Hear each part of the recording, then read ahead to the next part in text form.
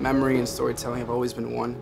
I remember when I was about six years old, I'd wake up to the sound of my mother by 6.45 in the morning, knocking on my bedroom door, come to me really close and recite a little prayer to me.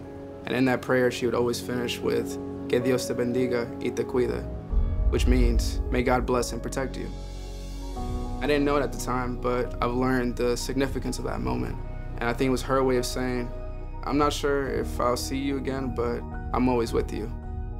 You see, my mother was a person who grew up with faith. And she would try to instill that faith into us.